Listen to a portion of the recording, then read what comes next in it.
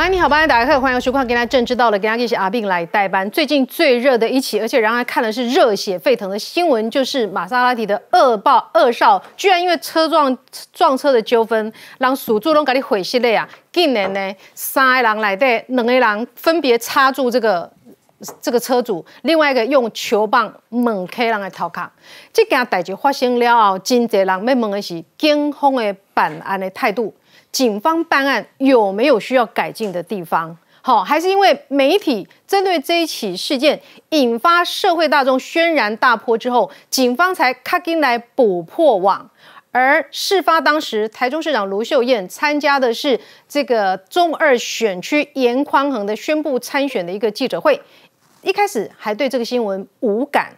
这是台中市发生的事情，卢秀燕自称自己是妈妈好市长。发生这样的事情，却这个事后才知觉到这件事情逮及断掉，啊，他卡出来，这是不是也应该要调整一下对市民关注的事情的这个关心的态度呢？今天。来讨论一下警方办案究竟出了什么问题，特别是在台中市。有人说贵体宫台中市是庆忌之都哈，那后来治安确实有慢慢的一个改善，特别是前台中市长胡志强受了蛮大的压力，在他的执政后期，以及民进党的林佳龙接任之后，当时的治安大家觉得说，哎。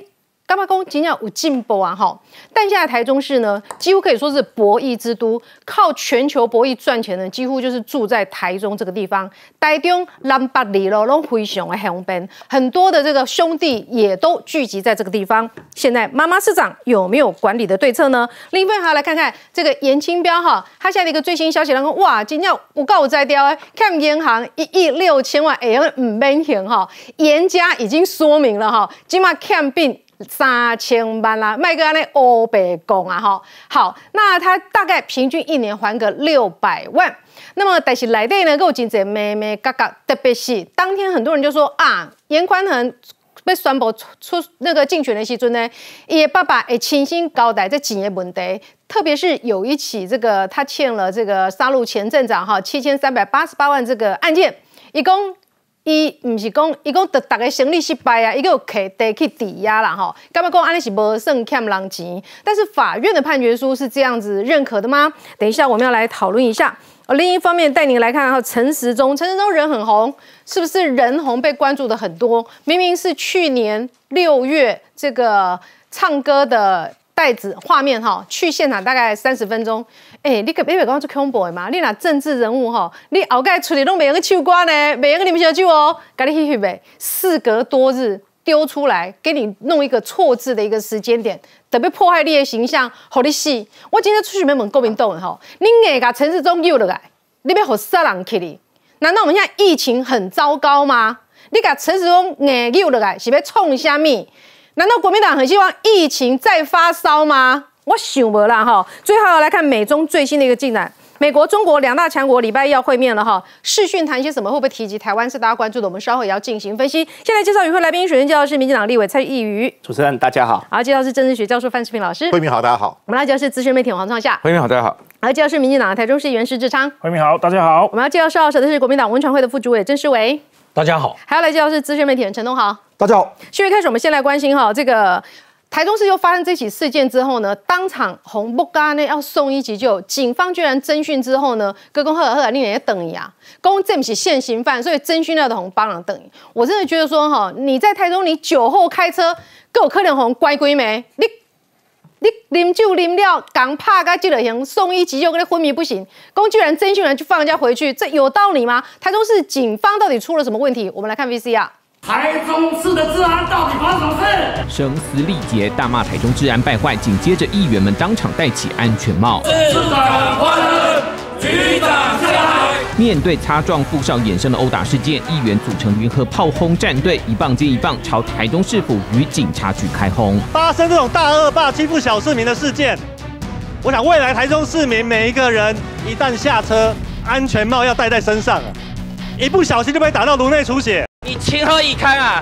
这是我们台中市的孩子哎，没有错。我们重犯现行犯哎，过去半年，卢秀恩，你根本不重视我们台中市的治安，难怪今天又是这样子，组织暴力，二行二状，更剑指台中市警察局长蔡昌博。蔡昌博现在可能把这边当做养老院了，哦，当做安老宫那种了。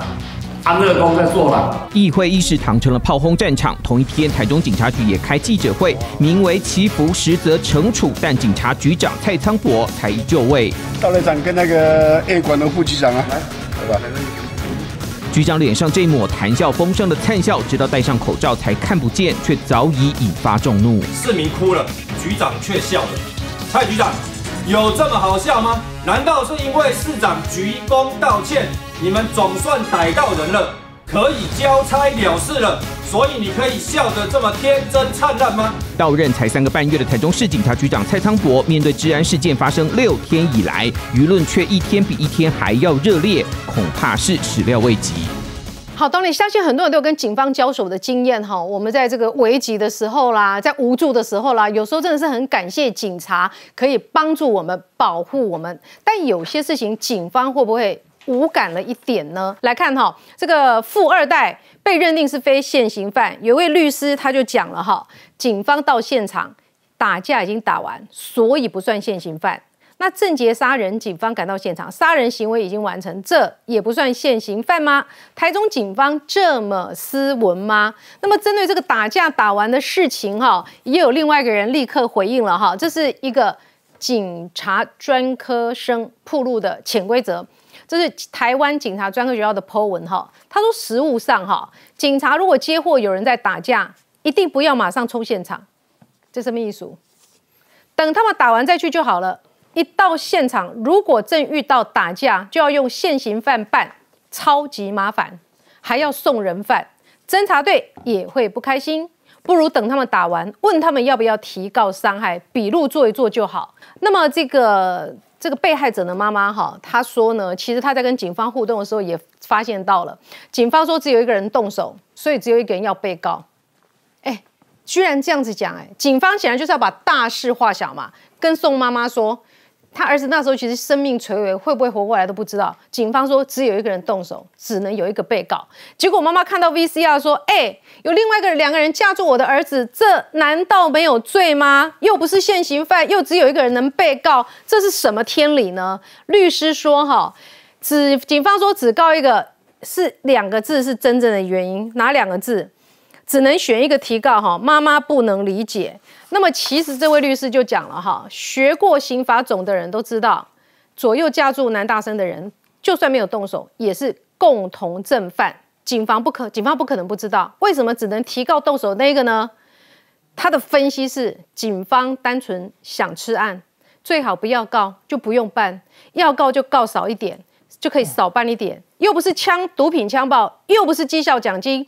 是，实际上很多警方会吃到这种小案子，是真是这样子吗？司议员，其实迪瓦古尼啦，在我去年我载着孩子行经这个台中的中清路跟建行路的时候，就亲眼目睹一台车，年轻人是被一群人棍棒敲车，要把他拖出来等等的。所以，我我我我我想从这个案件里面，刚刚包括这个警专生所提出来的，我想整个台中市在卢市长这个所谓的妈妈市长。挖公益叫做好人市长啊，因为什么叫好人市长？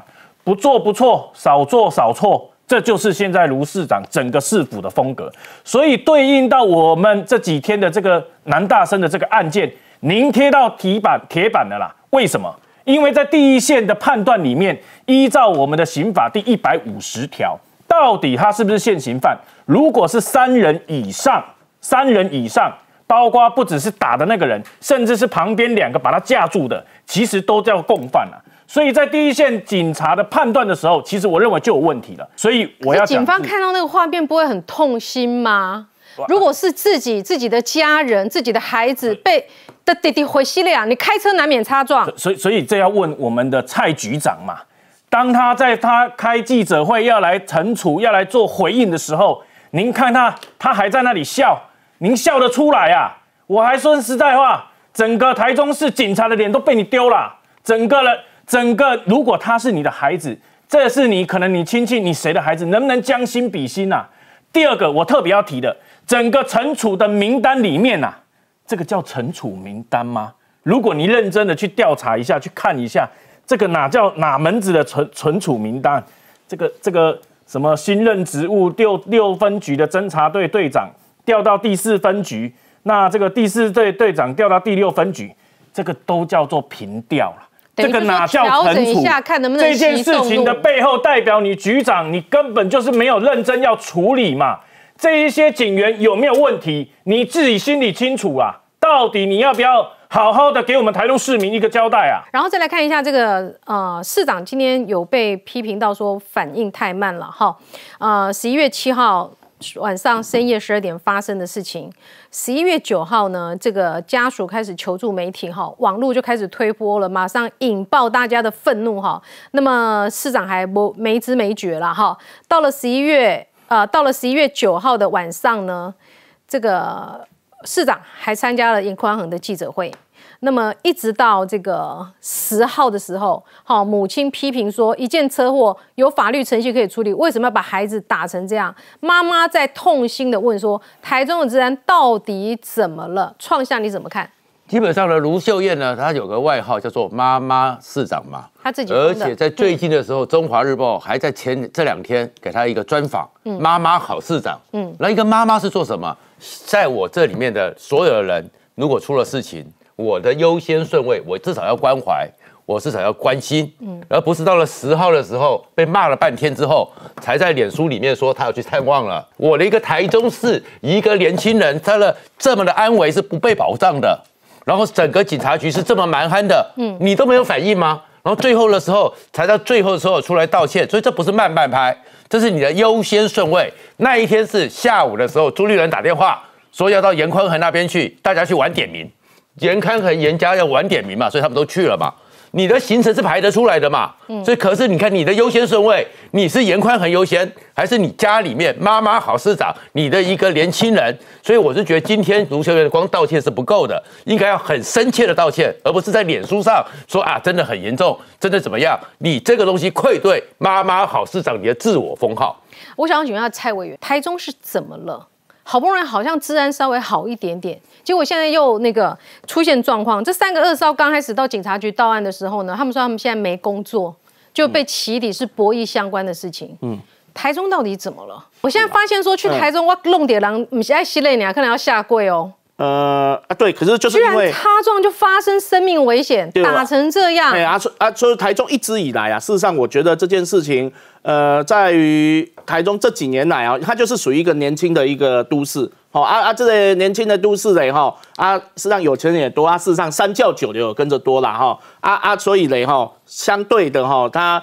也治安就一直是台中的一个隐忧哦。那如果以这几年哈这样看到的一个状况，尤其就就会发生发生了这个事情哈，就是说这一些人他们并没有好好的被哈被他约束哈，也就是说台中的警方这边对于这一些呃黑帮哈分子的一个呃管束的力道是渐渐没有了，嗯，哦啊渐渐没有了，这个是来自于为什么？我觉得很很大的意义就是在于说，在台中，我觉得他们的警方跟呃，这个黑帮啊，甚至民意代表的关系都太过于错综复杂，嗯，使得变得说，大概干嘛讲，哎，出代志吼，找警察不好。他没他没办法好好的主持事情，我觉得卢轩市长哈，与其在这个时候要拉着很严宽很的手哈，然后替他辅选，带着他去跑去去去拉票哈，还不如他真的静下心来好好去思考，台中市要的是安居乐业，要的是一个安全的一个环境，嗯，他应该要努力在推动这一块，反而这样对严宽很还有票啊，不然很多现在开始大家会把这个严宽很的参选，然后你看这一个这一个呃年轻人被黑帮攻击。五郎给他连在一起哦，他连在一起对林宽很是最大的伤害哦。这次这个这三个二少，我是不会把它讲成是黑帮了，因为没钱，没有枪了。嗯，你要讲个帮派，你至少要有枪嘛。嗯，在台中市之前的新闻，你会看到什么？骑个摩托车不小心会有枪掉下来。可是为什么说卢秀元卢市长这个时候一定要把把螺丝拴紧啊？因为螺丝是松了。去年六月，在在文心路上晚上。有一有人开车 干了一件什么事情，你知道？因为文书文心路那条路在很长啊，会经过市政府的新的市政府，四十五公尺之内连开二十一枪，像放鞭炮。四十五公尺，四十五公四百对四四百五十公尺，四百五十一边开始开车，一方面就边 bang bang bang bang bang，他就乱乱扫射。对对对，就波台机那我乱选的杀戮镇长，应当马红变六遍，我六遍，高子非常短啦。你想想看呢，哈，因为文心路是很热闹的、很重要的一条路。嗯，居然去年六月的时候，可以有人敢这样做，他代表什么意思？第一，他不怕。所以当当时啊，卢秀燕卢市长被被市议员问的时候啊，他其实不知道该怎么该该怎么回答。所以有一些事情，就是说卢秀燕的满意度很高。这是事实，嗯，他妈妈市长这个形象也很好，可是，在威吓力上面这些来讲，现在不是兄弟不怕你啊，莫名其妙的小弟都敢开枪了，嗯，是连一般的人，我有三个人结合在一起的时候，我就敢喝醉了，我就敢干这种事情，所以你警这个是代表什么？你的整个螺丝，也就是说，从他的这个市警局局长蔡局长，一直到下面的分局，到派出所警员，嗯。没有没有人把他当一回事啊！这三个这三个这三个少年哦，家里都有钱，领酒开名车，人朝你擦撞到都敢摸摸个人挡胸。不是这个，你如果说你情绪失控，你你朝人家乱打，他是朝人家头部是，所以表示他可恶嘛，他完全不怕嘛，他完全不在乎嘛。那你就要让一般的人到台中，因为台中市是中部四县市的消费集散地，外来人很多。嗯，你一定要让大家知道心存敬畏，警察不能当摆设。嗯，那警察为什么不能当？为什么会紧张？会螺丝会拴紧？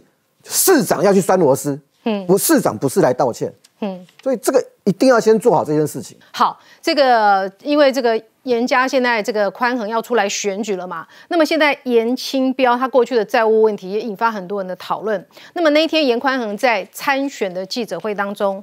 严清标，那大家都说，哎，钱的事情哈，严清标会说清楚。他说清楚了没有呢？我们来再听一次。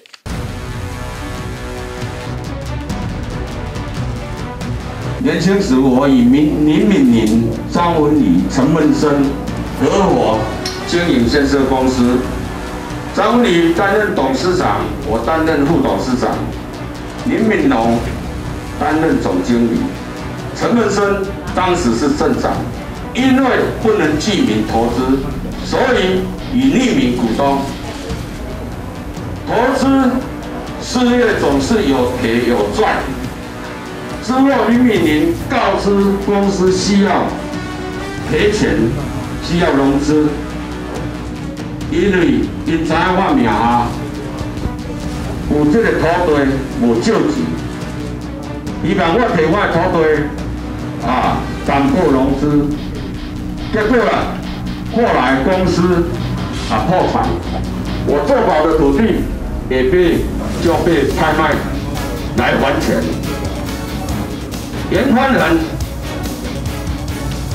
唔敢借老爸好多人怕话，就救急筹钱，把这些土地一笔一笔的标回来。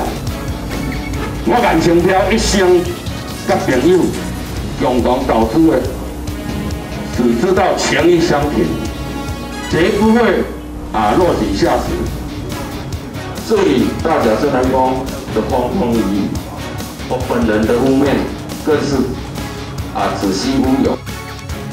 好，台北够严清标哈，在这个台中地区哈，他那个地位相当于话剧也跟党。好，那么当然虽然讲，哎，过去都大家拢就加减无人会做过兄弟，做过兄弟在更生之后，你更生之后，你再重振，小黑买镜头的机会嘛，和你对这个议定啊，来这个理化委婉啊，领导今嘛，你看子女呢，继承父业也有成。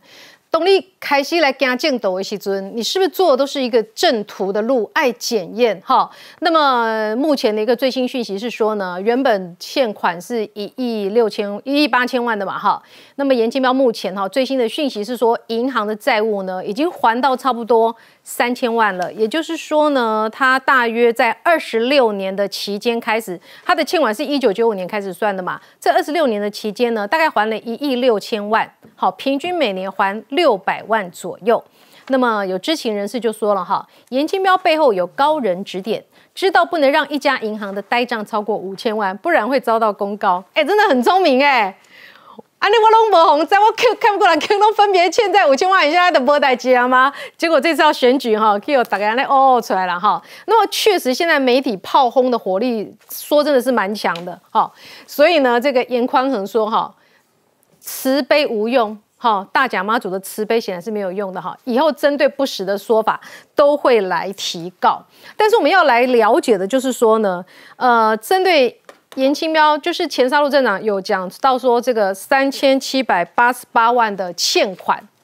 严清标的说法是说，阿欠了后公司破产破产，然后呢，他用他一块土地已经去拍卖了，意思就是说 double share 欠嘛。但银行的判决书是这么说的吗？当初和我开公司，张文仪是董事长、副董事长、总经理，好，啊，这个是隐性股东嘛，因为管定一定定嘛，没在到主理。可是这件事情来讲，哈，我先跟大家讲一个，就是说，严家的故事只有这一件吗？他的投资事情发生纠纷的只有这一件吗？没有，光是跟陈梦生之间的就不止一件，还很多嘞。还很多件，还很多件啊！每一件的状况都不大一样。比如说，你刚才问我判决书那三千多万那个事情，嗯，黑起另外一件。就简单讲，有一个六三千七百八十八，不是这件啊。有一条六千的，有一条三千的。啊，六千个是判决书诶，有还是无赶快公司？哎，连彰化县长前彰化县长阮刚猛，阮刚猛也没付钱。对，也是那条。阮刚猛的是三千多，这个三千多的这个啊，是什么事情呢？是因为他是沙鹿镇镇长，嗯。当年在沙鹿镇，他们要盖一个叫中华商场吧，一个开发案。啊，那个案子呢，照陈梦生，因为他后来被告，在法庭上出院的时候，他的讲法是标哥七八万摩寸，七七条是七八了对啊，七八万哦，不是七千万哦。对，他们说因为因为因为因为他们的钱哈比较乱，不知道怎么算。嗯，我刚才讲的那个叫中华商场的案子嘛，啊，因为陈梦生后来被告，也为了他还被提提提提报流氓，但是后来被法院驳回。他们在所有的所有的投资案里面，哈，当年的关系是至少有一个要确定的，说当年最有钱的是谁？张文仪。嗯。好啊，你再看他讲那六千块里面有一个很奇怪的事情，就是说他是董事长，公司没有钱，董事长没有出面去借，嗯，结果跑来找副董事长，嗯，啊，这不是很奇怪？够力呀，可以借钱不还呐？我跟你讲，你有吗？我跟你讲，这些人都是好朋友哈。这些人选举的时候，那个那个时代都是互相帮忙的。嗯，他当里长的时候，陈梦生砍刑；张文仪被选国家代表，被选立委时，延期表是大头大头卡。嗯，啊，两个三个人合合合合合作开开公司，要做做房地产，要做土地，当属地会不会出钱？或者公司有亏损，为什么董事长？所以这个要去问事情发生什么事情。当然这件事情上，他后来拿土地出来借钱，啊，你就是做保嘛。保人就呆人了。嗯，你做保公司倒了，银行当然找你，天经地义。嗯，因为那无谈打个龙奔嘛料。好，那问题现在就就一件事情，董事长为什么没有？因为，因为我怎么讲？我跟张文比较熟，因为张文那时候有钱，他经常是黑派选举的时候，在海线来讲哈，他是重要金主。嗯，张文仪是不喜欢从政的哦，所以他在当立委的时候不喜欢开会，移动在够探级。你真正就有钱。哎，郭文东，那这款人要过来这里，为人都不爱做，坏习惯都改不掉嘛。我跟你讲，会赢嘛，因为选举要花钱嘛。嗯。张文婷出钱，严清标固装，这边又有行政资源，这三 G 那没啊？但后来为什么要弄坏？也是因为钱。嗯。我我刚才讲那个中华商场，他是镇长。嗯。那一个案子里面呢，他们的他们的合合作里面是把土地登记在谁名下？张呃陈梦生家名下。所以啊，我如果用现在的讲法，你这个不小心就是官商勾结，啊，这个就是当年为什么埋下这些恩怨，派系政治。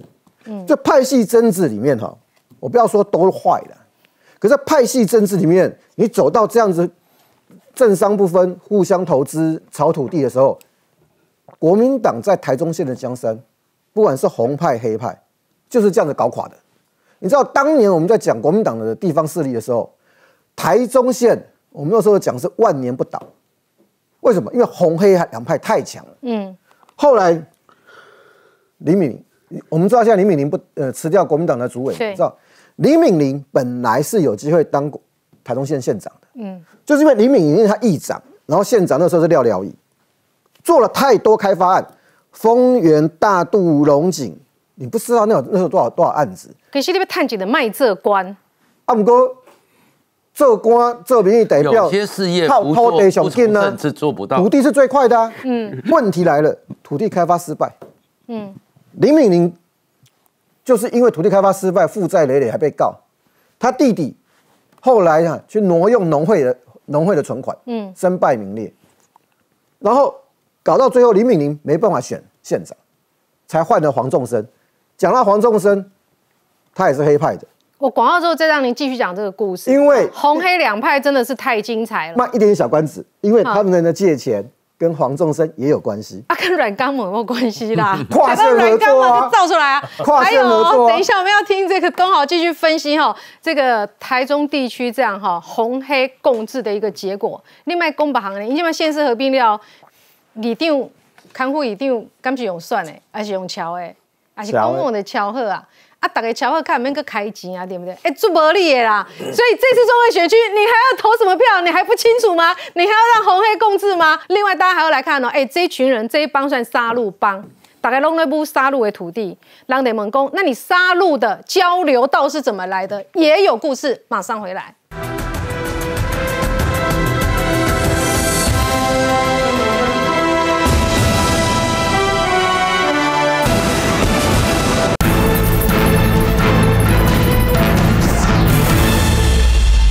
其实有些后边又刀猪的是安内啦哈，有的人要出钱，有的人要出力哈，那有的人要出兄弟的力量，敲来敲去。那么严清标哈对整件事情，他只讲只讲这几句话，他一生只知道情义相挺。好，那么信不信由你，但是这个这几个敲来敲去的案件，凸显出了台湾政治什么样的一个问题。其实，在都会区这样的问题大家都解决了，但是中二这一区显然问题还是盘根错节。比方说，有一位这个公司哈的老板，他要标教育局的案子，猛来猛去，找了一个最有力的立法委员，巧合了，这个立法委员什么都有了，嗯，怎样让他刚下，寄一百瓶酒在金钱豹，请委员好好享用。我们来听 VCR。民主大家讲嘅。卖个差，卖个闹啊！严清标扮演和事佬，要大家不要再吵。登高一呼之后，让双方停战，终止争执。多年前还是严委员阶段的严清标，为了摆平民众紧迫，资深媒体人透露这段插曲：上市贵的电脑公司老板，为了标那个教育部的那个电脑设备，竟然有人出来围标了。听说台中最大不是严清标吗？哦，这真的找他呢，跑到很找他，跟他讲这个事情了，还真的找到他。严董事长下令公，结果赶紧唱。科技公司老板投标遭遇麻烦，当下决定跨选区找上严清标。对严董事长当然是义务帮忙。那义务帮忙，这个董事长他们觉得说，哎，我们这样子欠下人情，那怎么办呢？他们就买知在知名的酒店啊，就买了将近最少大概上百瓶的这个好的酒啊洋酒，然后请他们来。这至于说。海线的这些野动的朋友们有没有来用，就不得而知。当年被大老板以酒答谢的传言，上百瓶酒价值约莫二十到四十万元不等。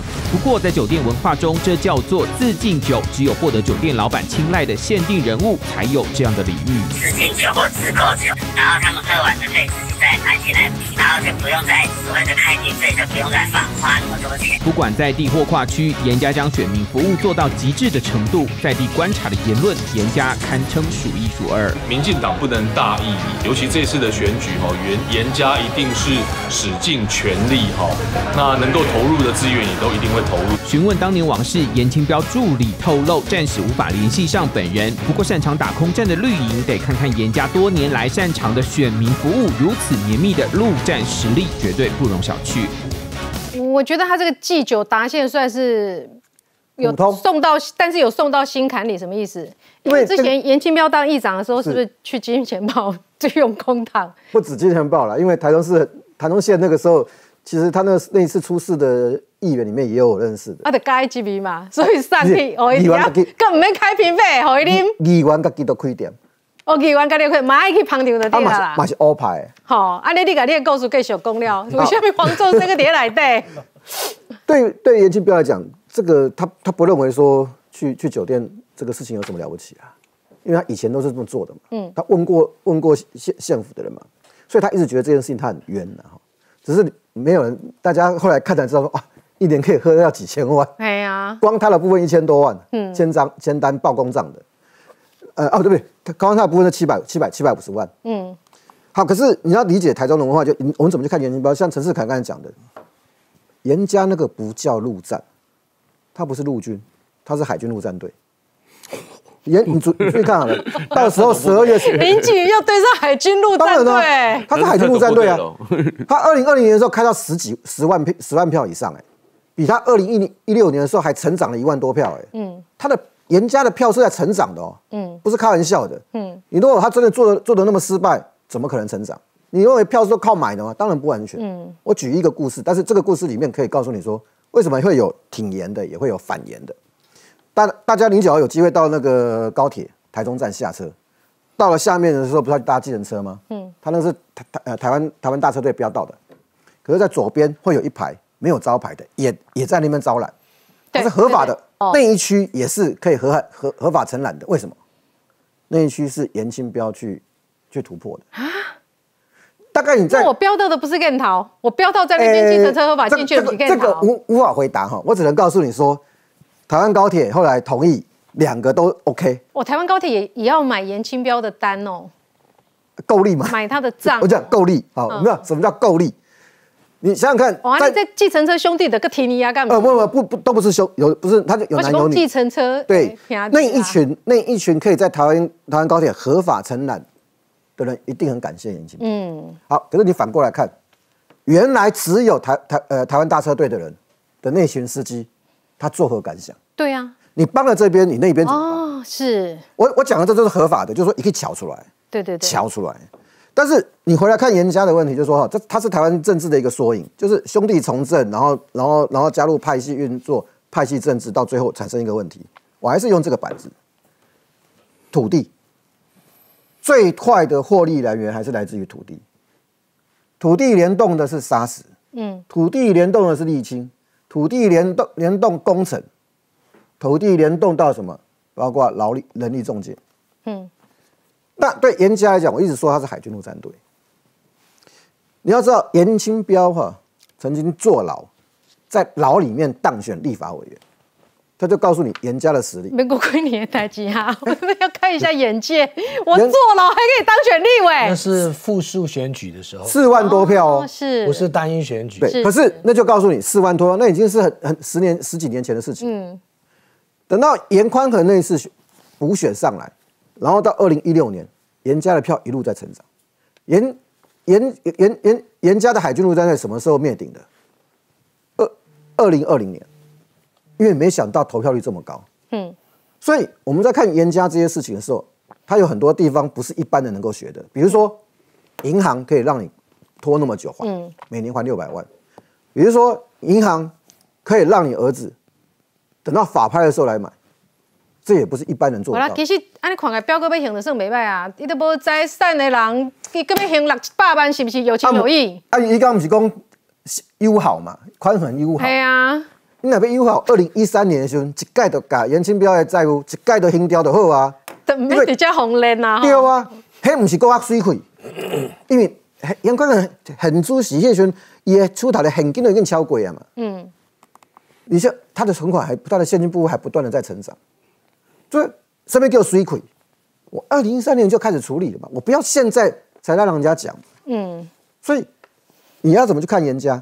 严家绝对不是什么都是错的。嗯，它是台湾政治的一个缩影。是，啊，这个政治缩影会不会被时代所改变？是，中二选区的选民正在增加。嗯，它外来的比在地的多。嗯，这个就是严家的挑战。嗯，好，那我们还要再让您看到哈，其实你仔细摊开他们的这个财产申报表，发现沙鹿是买很多土地的，就好像这一次，哎，狼立宫二高有一个沙鹿交流道，原本有规划吗？还是后来瞧出来的？其其其实这件事情哦。我我想在座的许多的听众朋友，如果有经历经过台中啦，列雄宫从北到南，奇怪从大甲到这个沙鹿，然后一路到这个又绕去这个和美，然后再转回到到乌日，其实怎么会多弯了那么一弯呐？哈，嗯，我想这个这个其实刚我回应这个也谢延延续的这个我们东豪兄所讲，其实都是偷地啦。那我我也不得这个不承认，也因为沙鹿开了交流道，整个。沙鹿的发展开发，我想在地人其实是是感谢的啦，嗯感谢。嗯但是我也要特别提的是，其实伫阮过去的迄种生活或者是政治的那种生态里面，尤其老一辈的思考来对，不要紧啊，你都你都你要你要吃不要紧啊，但是吼、你代志爱做啦。哎所以说哎打大众的，利益，这个中间如果窃取一些个人的利益，伫早期的文化、早期的一寡老一文的时代来底，哎，这这是真正常的代志。来范老师，其实，在九零年代的时候，我们会发觉，包包含严清标，包含什么呃陈梦生啊，当时是杀戮镇长，嗯包含像这个张文仪啊，国民党立委，包含像这个李敏玲，他当当过这个议长，还有他这个弟弟啊，这个李敏荣，他们这些人啊，他们的都是一个非常好的兄弟关系，嗯哎都互相投资。严清标讲了说，哎，当时这个什么呃张文仪他们这个投资建设公司，那那是一件事情，但是其实是他们彼此还有交叉的另外的投资，嗯包含像那个时候的陈梦生跟这个林林敏玲，还有这个林敏荣，他们又有一另外一个公司，所以那个时候他们等于说分开不同的投资，不是只有一家公司而已。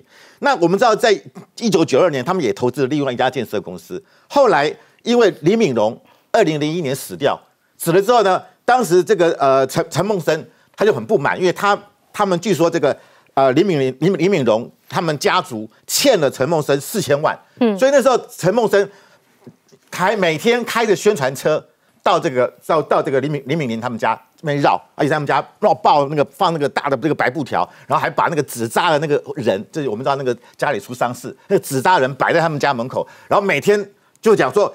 让你死碰碰碰，就就是到处广播啊，讲了都这很很血腥的话。嗯，后来这个陈梦生还因为这个啊被在二零一三年被这个自评专案被抓走，所以就他们其实曾经是甜如蜜啊，大家投资，可是也因为这个问题，后来闹了闹了都翻脸就翻脸都翻脸翻脸，而且他们过去是一个利益共同体，嗯彼此互相啊，你帮我，我帮你，你挺我，我挺你。可是到后来的都是不欢而散，为什么呢？因为利益瞧不定。所以我，我觉得这个就是当时一个政治上一个一个非就台中为什么我们说治安不好呢？因为你想想看嘛，都是这些黑道白道啊，它还有还有结合的当地的民代，还有当地的政府，大家这边在那边抢土地、搞搞建设，到今天为止依然存存在。就像我们我们看到这一次的这个呃玛玛莎拉蒂这个事情，哎，我觉得这会让大大很这几年的确很多人去台中买房子，可是现在很多人去台中买房子可能不敢开车，一出去如果发生事情 怎么办？我觉得走路也很危险，很危险，哎、因为上回失败，我公尺这样乱骗，我不小心被流弹死到，而而且这次这个事就是要穿防弹衣去台中啊所，以你看嘛，这次这个事情是在哪里发生？还没有还要戴头盔，对免得被打是。在台湾大道哎、台湾大道在哪里？中以前中港路啊，是台中车人最多的地方。怎么敢在这个地方拿着一个棒球棒把一个大学生打成这样，很夸张达到瘫痪？现在看到这样一个治安，大家会觉得很紧张。嗯然后看到严清严严宽恒又要出来选立委，嗯大家又想到严清标家族过去的种种，所以这种东西就会跟现在的这个立委的补选连在一起。我觉得这个对高台中市的形象来讲是一个很大的伤害。我想请教一下蔡委员哈，因为说真的，我们这种读册人啊，不要倒租啊哈，啊这都可能嘛不越来越去的哈。您身为一个律师，您来看这个严清标的致富理财之术，好，包括呢这个判决书当中，他交代就是说，他只知道情义相挺，他没有在在乎钱的哈。那为什么会有一个官司是过去可能跟严清标比较有的一个诉讼，我觉得他确实如同刚刚东豪讲的，他跟陈孟松哈，然后这个张文仪哈，一些关系是错综复杂了哈。我就我就拿一个其中一个陈梦生有被告背信，那后来是无罪。好，那无罪的，他这个案件是说，呃，陈梦生跟严清标、张文仪跟林高煌他们合伙的哈，去杀戮买土地，买十一笔土地。好，那买了土地哈，花了二点九亿，好，就也就是每平五点五万元，然后去跟这个吴七农会去跟他贷款六成。后来这个陈梦生比较厉害，哈，他他就去他又去转贷，好，去转到台中市信去转贷，然后贷了三亿三千六百万。好，然后股东说他不知道，说他有转贷这个过程，但是他转贷的过程中，因为十一笔，他又把其中的一笔卖给其中一个股东，哦，就是林高煌这个股东。那最后可能陈梦生就是实质上还处理这十一笔土地的，他就把这个土地哈，这十笔剩下的因为一笔卖了，剩下这十笔以一平九万，就四点二亿卖给了中呃这一个中屋建设四点二亿，所以如果以他的二点九亿到最后四点二亿，这起他这个投资赚钱。哦，这一起投资是赚钱的，对赚钱，结果还有后来纠纷，为什么？后来没有办法，他没有办法把这些赚的钱给他的股东，好，就是陈梦松这个哪集，他赚的钱没有给股东，那没有给股东嘞，他他他没有给股东嘛，所以他被告背信，后来他被判无罪是为什么？因为后来陈梦生他在法庭上他就讲了说，哎，我是让我花了好多钱，嗯，哦，我花了好多钱，他花了好多钱，就还有一个严清标结欠七千三百八十八万，好啊，所以艺术以的工哦，我在这个案这个投资案里面，我虽然赚了一亿多，可是我中间费用有这么多，那、这个中间费用就有一个叫做严清标的一个欠款。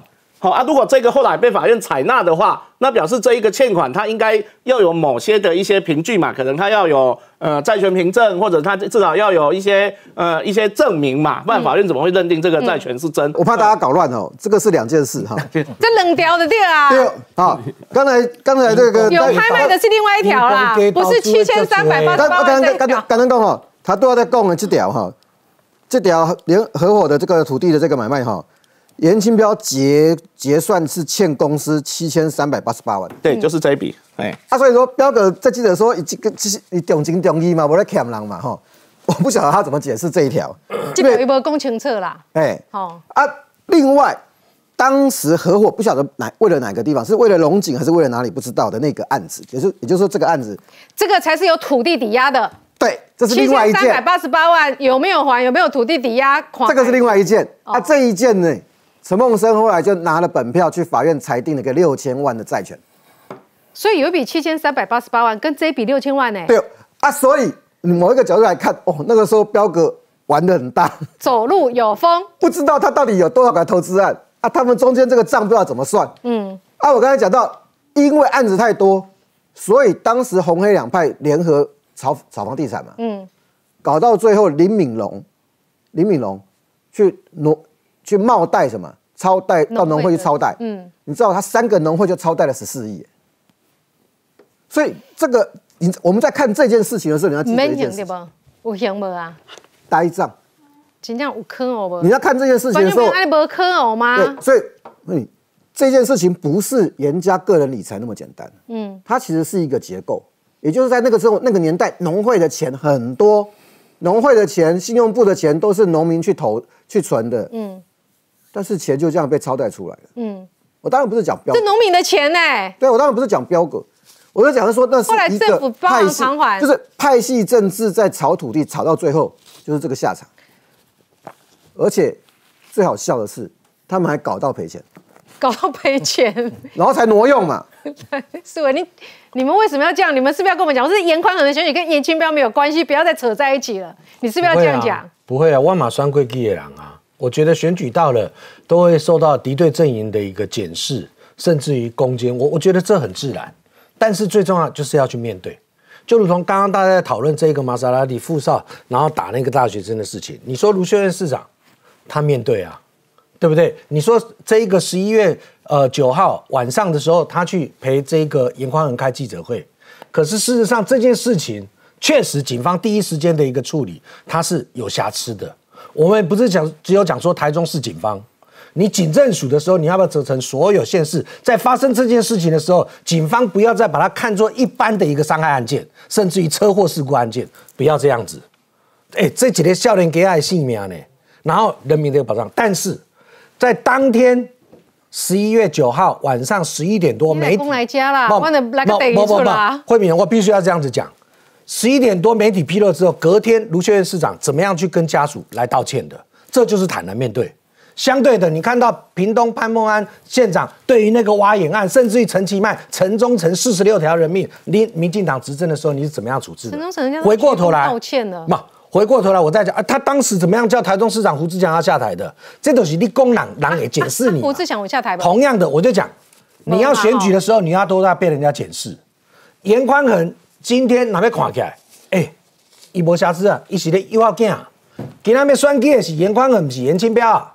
严清标或许他过去地方的一个色彩、兄弟的色彩加追，但是他也经过选举的一个试炼很多。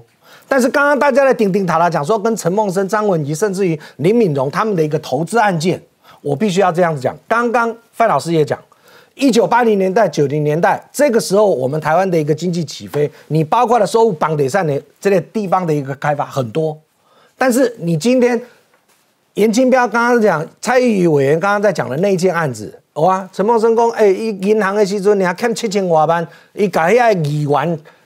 共同投资的公安了，为什么被人家告背信？因为你买两亿外，你卖四亿外，你赚的你无本人啊。结果他讲什么？那当时的严清标说要投资七千多万，结果几千都无出。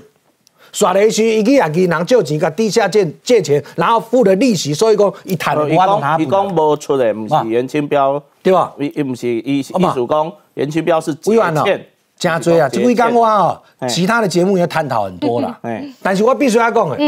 你陈梦生镇长东吹西，你是做定长，颜清标只是做一个里长啊，哎，啊，你定长叫里长设计。那同样的，如果按照严金彪所说的，一做人海牌，一中兄弟亏，伊无计较投资有赚有有输，嗯，但是今仔伊的土地为着公司，伊摕去抵押，伊设定去用拍袂掉，好，款能去救济，那个对，啊，所以讲了讲，七千三百八去调陈梦生镇长的角色是安怎？嗯，差安过啊，嗯，有出钱无？我唔知，但是我们提出合理的问号之一。你即边你若了的哦，感情标土地去底下，这边你谈的耍雷讯，你讲感情标不？所以你也理解到这就是一团我必须要讲，他们这样子叮叮塔塔投资事事情，他们必须要去自己去说分明。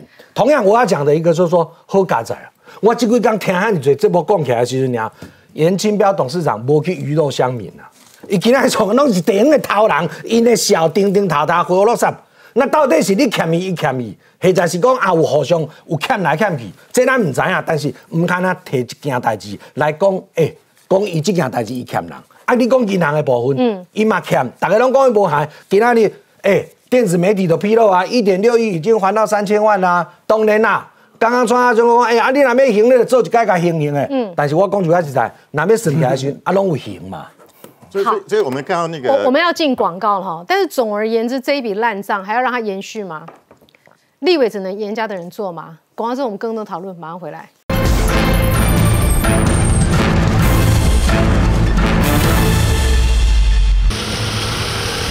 台中北屯区锦和街这一块大型停车场，乍看没什么特别，不过未来有高度争执。这块土地的面积将近九十四平，走过我脚下的这座桥对面就是台中的十七重化区。如果它的地目能够变更成商业或者是住宅用地，它的土地价值将水涨船高。当地之前是爆料，土地持有人中有严家成员，但他们就是看到一块重化土地，他们就会先去买一部分下来，然后再去等待有拍卖的机会，他们再把旁边的都拍一起拍卖下来。这段从化那个那一条的利益才比较。根据报案人出示的地籍成本，北屯区青田段实际对照就是北屯区这一块土地。七笔资料中有三笔登记在严家名下，一百零三年一月九号以买卖方式取得约莫十六点一八平。两年后，第二笔交易在一百零五年一月七号以拍卖方式购入超过二十平。去年十月再度拍卖取得十八平土地，换算青田段整块面积近九十五平。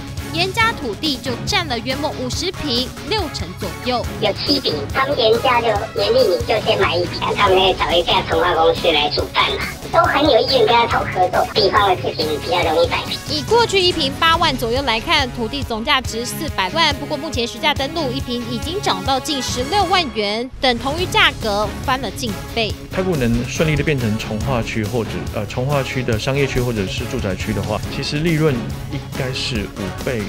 甚至是十倍起跳，呃，利润是非常的惊人的。房仲分析这块土地未来增值性大有看头，在严宽恒爆出低价买回附近法拍土地后，严家的土地投资数再曝光。不过截稿前致电严宽恒、严立敏尚未取得当事人回应。这个中二选区现在选情是越来越热哈，没有想到国民党却闹内讧了。国民党的党部在台中的党部主委林敏玲，他辞去了主委的，哎，这选前他换将啊，他自己辞了，那会有很多联想，是不是红黑现在有矛盾，还是怎么回事？刚刚都好想说，他不想再挺他了。倒也不是啊，刚刚东华讲说整个严家在那个地方，对不对？像是特种部队、陆战队，其实不是，他们有很多时候更像北越的游击队，那个地道之深哦，中间的那个所有的怎么连接你是搞不清楚的。嗯，所以呢，你空战猛炸，但是可能炸完之后，你会发现说他们这些游击队还是会冲得出来。真的哎。所以这是，所以包含是，所以有些情况的时候理解是林敏的林当然是迟了嘛，可是跟红黑没有未留了，未留了，未未未跟他要他要留下来吗？未留，他有请辞的动作吗？有未留，但是他还是会走吧？不一定。他有讲，因为当时是江启臣主席任命他的，那一条田朱一条行嘛。换了朱主席之后，他请辞第一度，请辞嘛，那时候未留，那刚好碰到就是说陈伯维这一个罢免案，那他必须要坚持下去。那你说上任朱主席上任了之后，他那天请辞的时候，朱主席还是有未留，但是李敏玲主委是讲，他想说这一局的一个补选很重要，那你是不是能够让主席有挥？呃，这个挥洒找新人的空间。那如果说真的要他留下来的话，他会跟地方的这一些师生大家讨论了之后，看怎么样来打这场选战。那主席也有表示，林敏玲主委还是会留下来谈。你们国民党话都讲得很漂亮，就我就这个节目也这个结果很丢词，整我们就讲直接讲，要看动作不要听话。要动作就是他那一天在那个严宽恒宣布参选那个晚点名的会场上，对不对？就晚点名嘛，所以国民党主席到了，所以这个点名这大哥就是。这个意思嘛，对不对？大哥来了，市长要到，晚点名嘛。他李敏玲也有到，而且李敏玲去那个现场，就我们所知道的，去问了一些相关的了解一下，是严清标打电话告通知他有这件事的。哦，所以其实是他有去，所以红黑没有大大大问题。而且现在整个台中的红派是张清照、张清堂，所以也没有问题。嗯，但是问题出在哪里呢？就是这里面其实真正的问题就是朱立伦他的四大公投，还有朱。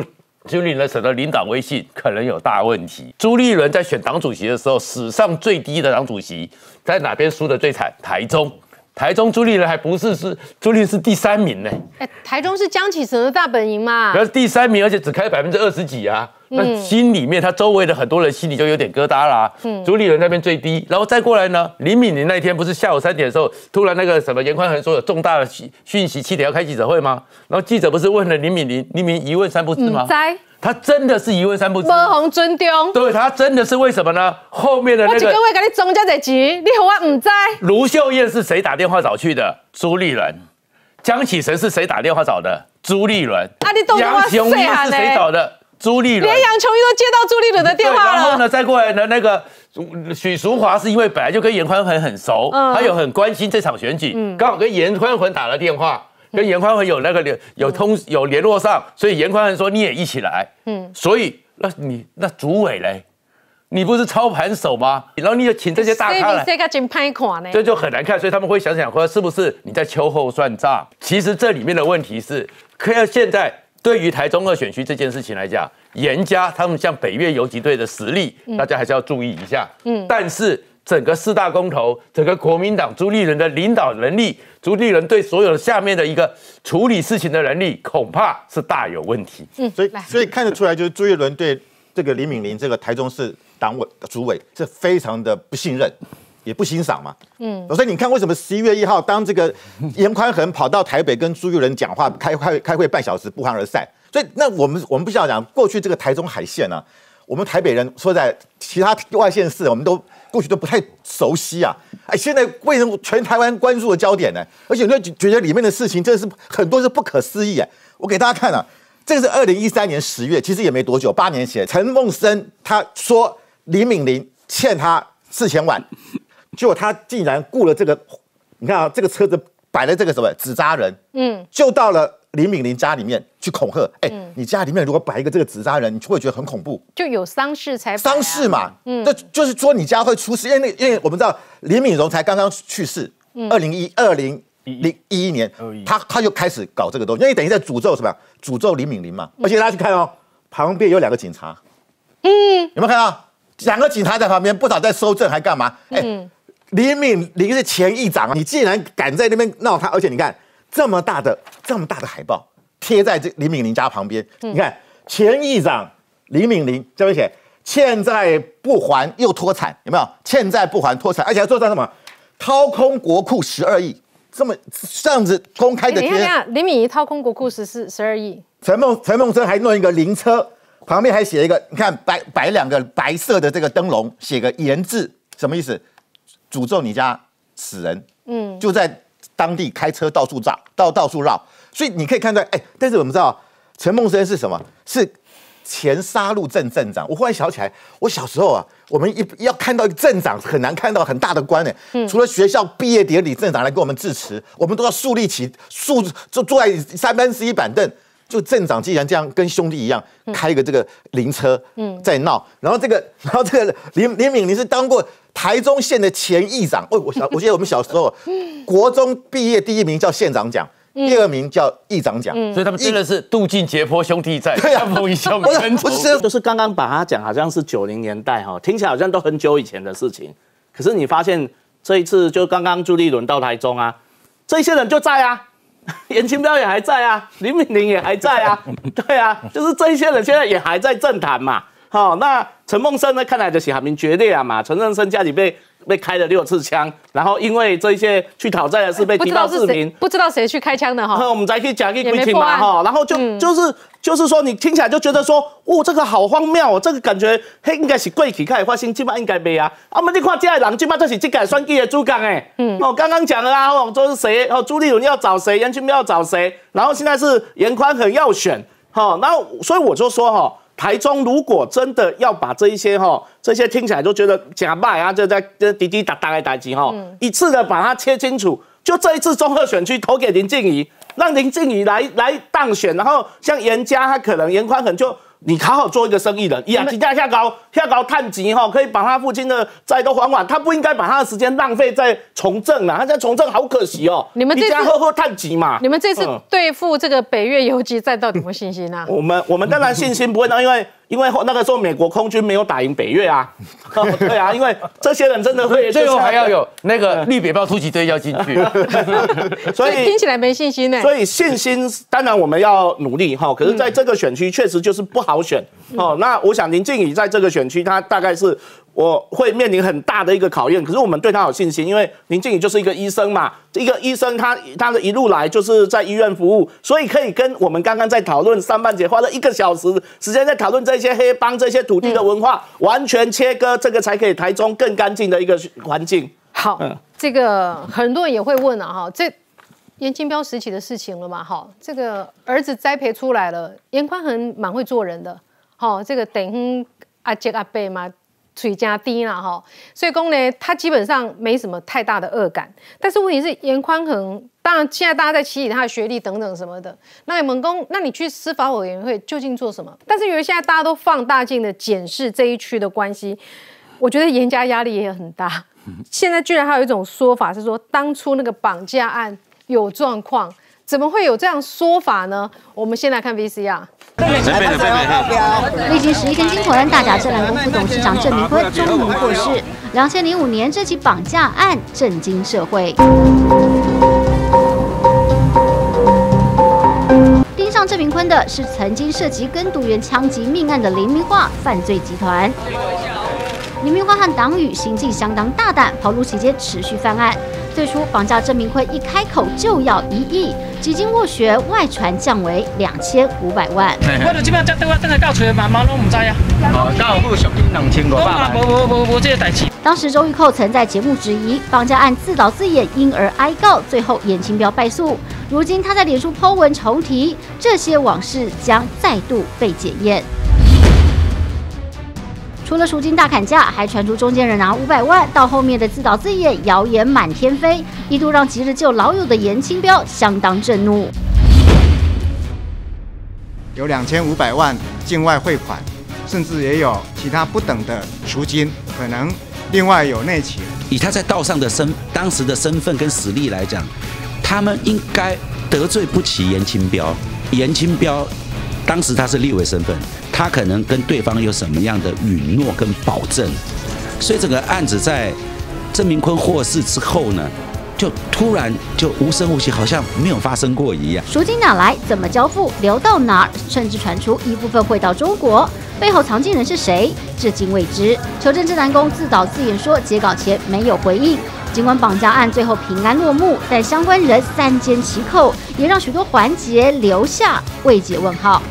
好，这个故事算是稍微久一点了哈，很多年轻朋友可能不太晓得。发生这起绑架事件之后，现在有人开始怀疑说，你正南宫的钱都没有这个透明化，你十几年来你的资产就是两亿多少？两亿多都没有变，其他公庙都一直增加起来，你都没变，啊，这几招可以对，让你质疑嘛哈，所以才来影射说，那之前正副董事长的案子有没有一些蹊跷？啊，内蒙的人是不是做不良心面还更明？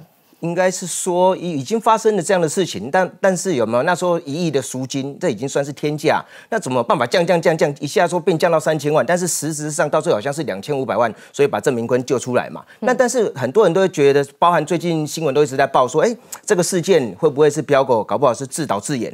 对，不会不然以他们的那这种树大招风，对啊，我我我我写在你也诶当归票啊，买怎样工地是虾米郎啊，不太有可能会去绑架你的副手嘛。那也叫对对对，那这个一定是自导自演。那这个事件发生的时候有没有？哎，他那时候好像诶郑明坤被抓走的时候，那时候哎都找不到人嘛，求助不到人。那最后我们就知道说，哎诶跟家属勒索了一亿，那一亿降下来变他说他三千万，然后到最后严清标好像去找了去找了国民端嘛，求他出哎就是拜托他出来从中协调，然后最。最后好像是国民多爱飞到菲律宾，从高雄菲律宾，然后去把郑明坤救回来。那但是大家呢都都有都有在说，哎，好像不见得有，真的是国民多爱，真的是会带着现金去给去关给给救等来，不一定哦。对，有有有可能是什么？有可能其实这个一切全部都只是哎，人家飘过可以自导自演的戏。但是其实我自己有一个哥哥，他平跟这个海鲜他们其实他们家族有没有？其实关系都不错。他今天我就特地我就问他，我公哎，最近那个新闻好像都在说这个新闻当初的事件是自导自演，告我扣零。那他告诉我，他说这个几率哦不是没有可能，可是这个几率低很低。非常低，我说为什么会这样很低？因为我这个朋友他自己本身他也是兄弟，有功一飘过啦，一飘过的系列啦，对不？今日也要创造知名度，要创造英雄事件，要树立一些新闻出来，他不需要用这个这个自导自演的事件出来。为什么？今天绑走他的虽然不是绑走他的家人，是绑走他副董事，就是大甲正南光的副董事长，是他的副座嘛。今日个拍照光个拍天诶，咱今日也比如讲，咱三四个人，咱去同一个所在食饭啉酒。朋友去用 saving 去用怕，安尼飘过来得很丢，因为等于是有 saving 啊，所以这个要讲的就是说，今天绑架他的这个副手、副手有没有副董事长有没有？其实。等于也是他被洗脸呐，对不对？等于让马西波波给你跨跨仔干来嘛，所以他绝对不会笨到说用这样的事件有没有来打自己的嘴巴，给你公开拍一天哎，你把招外我你把招外护去等于你就是搞 C 边被我拍垮嘛，所以他不太会用这样的事件。然后再者，第二他说了，我这个朋友告诉我说，而且哦，一当中飘过过去扯国民端，其实国民端那时候其实应该国民端辈分是比年金标高吗？是啊，是啊，一定是啊，而且最主要是最主要是他们中冠性的大哥好像有分级数，有的是。中部以南，对啊，你也明现在是大家拢知影啊，但是国民党就是说南北二路大家拢知国民党。啊，国民党在大对。国民党好像好像都都是在高雄那边嘛，就是在中部以南啊，中部以南。对，而且最主要是飘哥那时候去找他的时候，有没有？叶金彪的级数跟级数跟对。你说严清标的级数哦，他的级数应该应该就是算海鲜大哥啦，就是中部以南的海鲜大哥。只有海鲜哦。应该，但但是他的他的他自从他当了正南宫的正正南宫的董事长以后，有没有？他的名声已经大过于以前了。两岸。对，现在现在已经更大了。灰熊关啊呢？对啊，所以说叠黑道上得归。所以说慧敏，像我，我要我要再补充说，其二不太可能会是就是自导自演的事情，是为什么？因为他今天国民都已经退役啊，已经不过问江湖事了，他还去跟他讲。说阿伯，你从其就希望他从中出来协调这件事情，把郑明坤救回来。如果这个事件啊，如果真的是自导自演，蛮不应该招老红线，有诶无诶，将你这代志啊传出去，传去国民大呀，伊敢未去国民大说明？啊，你装笑，这代志就你家己咧演的，对不？啊，你家己咧演的，你搁叫我来甲恁斗三工，所以这个机会点不太，应该不至于啦。而且我我一直记得那时候严金彪神情很凝重，然后那个后来那个他那个。一系列互动，郑明坤等来些人真是惊魂甫定，更加低卡米索哈。所以就说，我是感觉讲这个没搞的讲，算计算个加，连这绑架人拢会去怀疑的时阵，我是觉得已经打到很厮杀很激烈了。我想要请问一下司议员哈，是现在因为台北有时候媒体，台北媒体有时候是隔一层，跟地方就是隔一层的。是好，那打这个事情。在台北的角度会觉得说，哎，哪样呢？吼，这个严家这种派系哈，还有这个黑金体制，应该是要来予以改变，好，让国家更进步才对。可是可能当选当地选区的民众不一定这样看，那虽然哈，这个网络网络那么网友底下在讲的对不？好，严宽恒宣布参选入网络好感度只剩下零点二八。好，哎，这个新闻来的是公安状，全国民党全党只有五个人发文挺严宽恒，声量好感度都输给林静莹两到五倍。但是我们这个政治新闻跑比较久的，好，刚东豪讲说严家是海军陆战队，我们创下说他是北越游击队，就说网络上林静莹她有足够的声量，她的学历、经历各方面，好，包括样貌、口才都是一等一，都一一流的，有没有可能现在媒体打成这样子，等于唔敢讲我搞完严家拍他这个行，忙忙站干呢？会不会已经有这样的一个反弹？这样，这中间的微妙，你观察到的气氛？我我我想哈，刚刚来宾都有提到了，其实这个有的非常对严家非常的始终啊，但是也有一部分是对严家非常的讨厌嘛，因为你二级饼的 CT 饼嘛，所以这个没有都两两两个拢后尾啦。那也其实，在我们地方其实都有耳闻一件事情啊，伊拢过争来啦，哦，譬如讲刷啦，甲别位来冤家。伊不管是非对错，哦，都是先啊啊，情义相挺，就是啊，自己争来的人嘛，所以也一定是有一有一方得到你的这个庇护也好，得到你的保护也好，但是另外一方一定是非常的不满意嘛，是，所以这个不只是在道上的这个处理上面，哈，没这功德被不干单，你一定要双方大家都觉得可以接受，是吧？所以所以呃这件事情来看，尤其是我想网络这个空空降啊、声声量等等啊。我想，其实这个也意味着，尤其刚刚啊，这个他们刚宣布参选，林敏玲就就就就辞这件事情了。嗯，我想这对他来讲也一定是一个很大的一个打击啦。你们地方上的说法是，林敏玲的请辞真的只是冲着朱立伦吗？那，就就就是其实啊，大家也知道嘛，这个红派的这个少主啊，其实就是江启臣嘛。嗯，那江启臣跟朱立伦这个党主席的竞选过程当中，这个其实也都有很多的摩擦啦。所以说，其实意味着黑派其实是朱支持朱立伦的。当然，红派是支呃黑黑黑派对党主席的时候，黑是朱立伦的。对，那红派其实就是江启臣，而且台中其实也都靠红派在支撑的整个国民党啊。所以说，我要讲的是说，这甘丹共啊，这个大家虽然大家都联联合体了啦，但是问题是实际上有许多的这些界面怎么整合，其实那种就都还问题啦。嗯，第二个我特别要提的。其实过去从台中有红黑以来，过去红黑对立到红黑共治，嗯，其实不这个不管怎么治还是共这个这个这个对立啦，其实这个前前后后都叫利益啦，这个因为利益而结合，又因为利益而分开了。你你想嘛，这个议长是红派，这个副议长是西嘛，所以所以所以其实是怎么瞧的？其其实这件事要有大哥出来瞧嘛，有分量的人出来瞧嘛。基本上他们原来的时候，从第二届开始红黑红黑县长吵了很久，但是吵了很久，后面就开始有人你当县长，我就当议长，我当议长就当县长，但是后来又又合并嘛，然后选立委选区就重划嘛，所以他们后面呢是在大甲镇南宫妈祖庙前面互相的交换，哎，这个区域以后是你红派经营，这个区域以后是黑派，那我们过来认大哥，以后我就互相把调阿康的电话联络号码名册互相交换。所以就开始红黑共治。所以与其打架，不如大家把地方地盘分一分就对了。对，所以他们其实是很很复杂的，对不对？所以所以所以讲回来，就是那一天的请辞这件事情，我某个方面的解读，我也认为说，其实你昂欧到底阿北恭贺啦，在米来这个严宽能当选，或者是对我红派，或是对于整个国民党，其实大家有不同的盘算嘛。当然，对朱立伦来讲，他这个此战一定是想尽办法。一定要这个朱主席一定要立下战功嘛，嗯，所以他底下的对于回到台中的这个红黑到底要怎么整合，我想这个警讯就出来了。那当然了，我想刚刚这个四维兄也有提到有有未留嘛哈，但是我想这个是属于了解政治这个口号来郎了解啦。但是我想大多数尤其是第二选区的许多的市民朋友一起为瓦德搬来了。他看的不是你们过去怎么恩恩怨怨，你跟谁比较好？尤其在那一天的宣布记者会里面，其实我只有一个感受了，嗯，这重情重义是吧？连卢市长跟他讲话，代表要要不要帮他这个加油的这个宽宏，是我从小看到大的嗯，所以我内心里面其实整场记者会宣布下来，都是都是。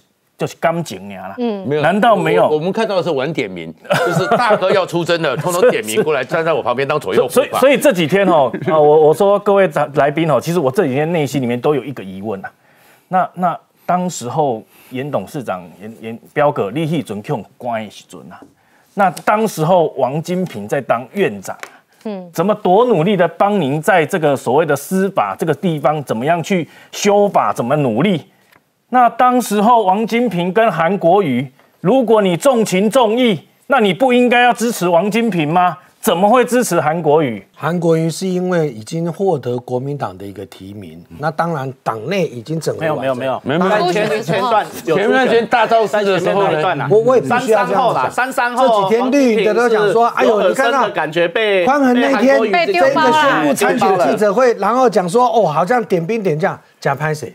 郭平东基本上不定啊，不找。我们重视基层，我们当然要到基层去，然后来来跟大家介绍一下我们的一个补选提名的一个征招的一个人选。温伯群、民进党哦，包山包海，然后哎，天子来朝，你都要到。台北、北京，你都要到台北的惊吓。北京练天子，你都我就讲啊，就好像以前啊，好像以前你这个高大时代，你是哪一个国的国民？然后在台中执政，你民进党，你民进党就是安尼啊，哦，台北跟他惊吓呢，台中台中的时阵空降的，然后好酸你都要到台北到惊吓来哦，来这样子台中的国民党已经被严加绑架了，就是这么简单我今天必须要这样讲。酸民做决定，冷静一点。像他有一定要秀点，我想行动就清楚。然后，我相信都就清楚。国民党啊，你讲国民党底台中无点无找。赖世宝到底该不该道歉？不，慧敏啊，你如果要讲赖世宝的话，哎，我们先呼应大家去了解。这个影片的一个来源流出来了之后，嗯，各方的一个反应，可是第一时间我我很在意，因为我四十岁的时候为了青春尾巴，我有留过长头发，但是我没有去吃过饭。谢谢谢谢 康大兄，谢谢。但是我必须要这样子讲啊，对于人生，你去看一下，你们的前立委谢欣妮在他的脸书上面讲，这段影片应该是由传播妹流出来的。这个风向是由谢欣宁的一个脸书先带出来的。哦，所以赖世宝是发了这个，大家才会去质疑，就对，大家才会。赖世宝委员，赖世宝委员他也有讲，他是讲，他是看各方的一个饭局内，他们饭局内是饭局内，他他去看一下，去看一下，改口，今天改口，今天改口了。传播妹嘛，没有没有没有，饭局局妹，赖世宝否认的哦。我我今天必须要这样讲，否认说他讲饭局妹哦，是说饭局内，来内，所以说我能讲嘛，你今天。会让大家这样子误会的话，第一时间是谢欣妮自己先说出来的。嗯，赖世宝委员他当然他有来做这个澄清的一个说明。那我请问委员，的时候发三倍券呢？好，委员，那我请问，同样去年六月十五号，为什么我们的一个职考中心要讲说，学生职考中心六月十五号职考中心讲的哦，当时要考试的学生都要戴口罩。家长都不能够陪防疫的工作啊，一样的，一样的道理嘛。去年是在餐厅内，一样的道理嘛。波流水的，我觉得民进党不要双标，你不要只准州官放火，不准百姓点单。你六月十五你跑团那个时候好，我请问这是私人场所还是八大行业的场所？当时是不是意大利餐厅？那我就讲嘛，那要不要保持适当的一个距离？要不要保持适当？我们来看 VCR，一起来看一下阿中部长太红了哈，希望大概各方到底是哎，到底是谁把这个 VCR 流出来的？我来看 VCR。彩绘铁皮屋门口栅栏阻挡，镜头拉近，其实是间高档餐厅，套餐形式，价位两千五到三千元。疫情中心指挥官陈时中喝酒欢唱影片疯传，就是在这。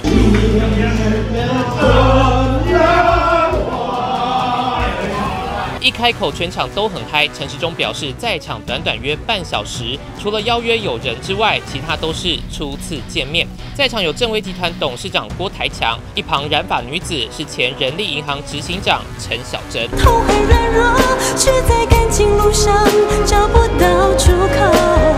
陈小珍曾出过唱片，当选温哥华华裔小姐，现在在福建担任招商局副局长。其他女子则是政商关系良好的社交名媛。主邀者刘姓教授表示，在场人员都是上市柜老板、蓝银金主，没有什么好证明清白的哈。陈时中晚到唱两首歌，意思意思。刘星教授表示，这顿饭单纯结拜兄弟，蛇会聚餐。像刘星教授自己，一九七七年生属蛇；郭台强一九五三年生也属蛇。现场涵盖学界、商界，每月聚餐一次。拍影片啊，拍照片的人是非常的多了哈。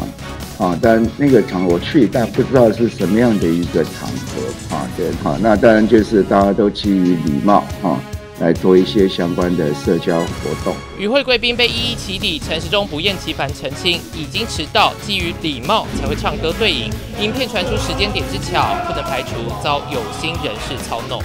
我干嘛中部长哈，最近看干嘛讲降低那家你恐怖的代志哈。我这个去年哈，这个大家还没开始进行这个严格的管制的时候，唱个歌被拍下来的影片放到现在，居然还丢出来。其实现在朋友欢聚几乎都不准，都要收手机。现在朋友欢聚手机都要收起来，你都不知道谁什么时候给你拍一段丢出来哦。啊，刚刚那欧龙欧北贡哎哈，来这个负责邀约陈思东人出来了哈，他是高雄一间大学的刘姓教授。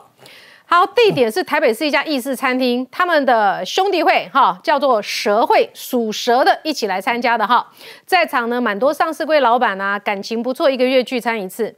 还记得去年六月的时候。当时我们一直加零加零加零，阿中部长大家那时候好喜欢他，觉得看到他就很安心。他说那时候声望如日中天啊，很肯定他哈，所以呢，人家很想认识他，所以呢才请他来邀请阿中部长参加。阿中部长他说哈，我不一定能到哈，因为我很忙，我不一定能到。结果当天晚上呢，他到场前三十分钟联系了这个教授哈，说他三十分钟就到，大家很惊喜。那陈志忠部长平易近人没有这样子，但是呢，差不多留三十分钟就。离开了，好，就是这样的一个场合。好，阿中部长先讲了哈，有去陪侍的场所呢，我早就死了。那哎，国民党主阿威啦，朱立伦先公人安怎？这个人在去年六月十五号，以欧北美基本上被回息类了哈。阿文传会主委林涛公加公参与者疑似在对岸政务机关任职，这是否有涉及政治统战？陈 陈部长要严正说明哈。好，那。这个蔡依云，你充分的掌握这整个情资了嘛？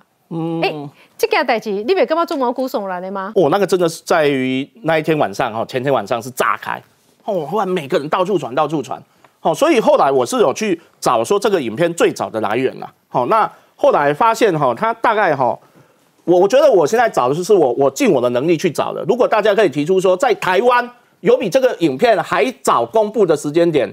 那我就自打脸啊！我就跟我就我就跟大家道歉嘛。嗯。哦，不过以目前这样看起来的话，他就是在在这个十号的一个大概五点的时候，就在微博有一个有一个账号叫做“台湾傻事”哦，就是他们耻笑台湾的就对了。对，专门在耻笑台湾的，叫做“台湾傻事”的这一个账号，他是差不多五点的时候，然后过后差不多十几分钟，又有一个微博的一个账号，也就是差不多在六在下午六点的时候。好，然后有一个叫做呃乌烟木产乌烟木产的这一个哈，这一个账号又又又去把它又去把这个再泼出来。那接下来呢，可能在台湾的 YT 啊、脸书啊、Line 啊就开始广传了。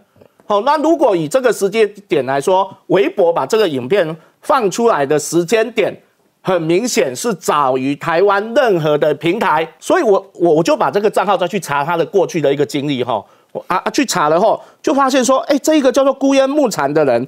他竟然还受到了广东哈广东省嗯。给他一个聘书，那这个聘书的内容哈是聘他叫做网络文明宣传大使，好网络文明宣传大使，然后他有这个聘书，然后我就我昨天把这件事讲出来哈，我今天这个顾烟牧场还跟我对话，哎，调到他了，哦，他今天又跟我对话？他说在他的微博啊，他的微博就讲到我啊，他说今天挖煤挖煤就讲我们台湾的媒体吧。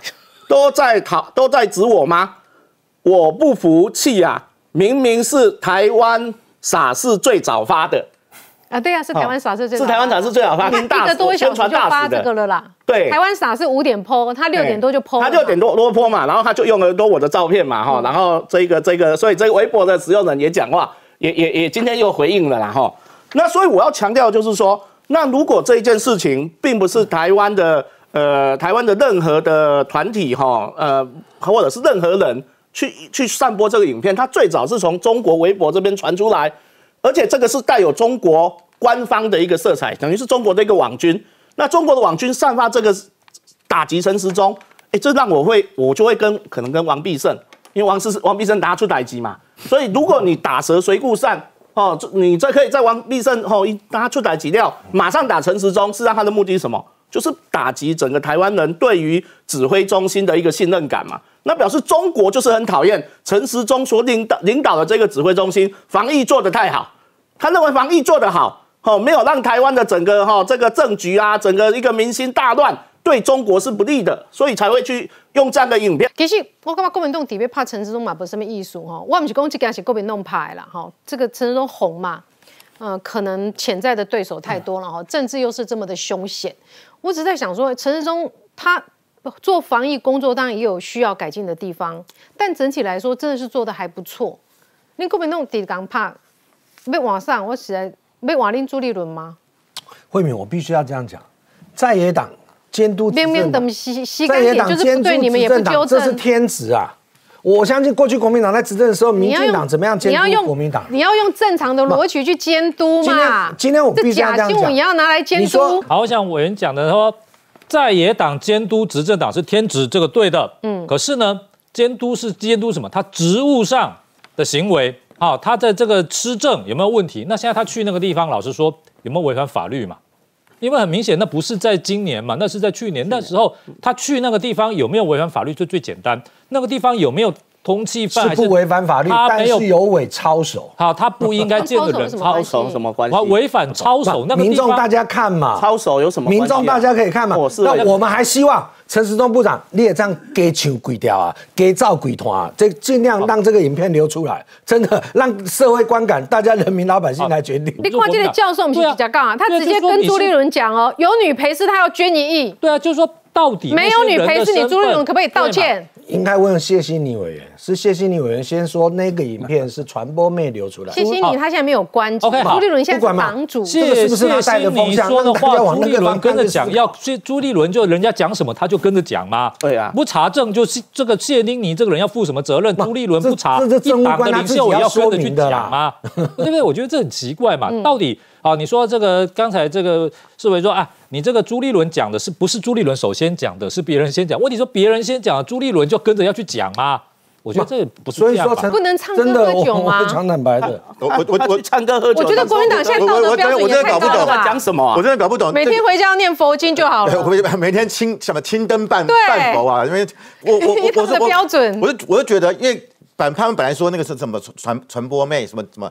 还还讲到有声，后来发觉那个一个女生是一一人力银行的执行长，叫陈小珍，她根本就不是你们所说的什么啊，是是找这个什么呃，怎么怎么陪陪陪酒妹来，她是有正职的嘛，你等于侮辱人家，你等于是好像把人家贬义嘛，而且后后来说，哎，原来她不是，她不是这个陪酒妹，她不是什么啊，就说说说这个陈小珍后来因为离开了一一一去去了中国啊，去中国发展。就说啊，你看陈世忠怎么可以跟啊去呃去中国发展怀疑他被统战，哎，怎么统战？这也扯太远了吧？为什么引引隔隔了一年多，嗯，才把他放出来？嗯啊，那我我觉得他其那个那个那个心态是可以，但是我我我觉得啦，一定可以找出来是谁拍的啊，因为因为这个角度嘛，现在拍的已经比较有一个方向，是一个女生拍的啦，嗯。但是女生拍他是不是恶意的？这其实不一定，有时候可能只是跟人家炫耀说：“哎，我跟阿中部长吃饭。”对，就是拍的话，拍不一定犯法，因为那个行为也不是。但是聊到哪里的时候，那个人有心的存起来，在那边恶意的说什么时间轴啦，什么什么那些人，我觉得这是比较大问题。因为这个这个这个资料最后是由中国这边爆出来的，哈，目前可以追踪得到最新的一个讯息，就从中国那边就丢回台湾，台湾就是讨厌陈时中的媒体开始又整个开始大做哈。不论如何，这是有计划性的，我们。真的是要请阿中部长哈，这个人红状况比较多，请你多保重啦哈，给他 say 耶。接下来国际大使我们要很关注得到的是，美国、中国在礼拜一要会面了，要视讯。哎，你好像他们外面很美中之间对峙的很严重哈，但是两个领袖说谈就谈了，很快要谈些什么？来看 VCR。美国参议员来台访问行程最后一天，直奔台积电竹科厂，了解相关制程与晶片供应链。台湾的护国神山，攸关美国战略物资最重要一环，中国却再度气到跳脚。中共必须注意，你已进入我 ADI 力，影响我非常安全，立即回转脱离。美参议员访台，过去两天就有十二架攻击扰台，中共更怒斥美方窜访，严重威胁台海稳定。今年至今已经有超过七百架军机侵扰，不让中国为。为首欲为，美国国务卿布林肯说重话：中国妄想动武改变台湾现状，美国与盟邦将采取行动。These are these are not uncommon.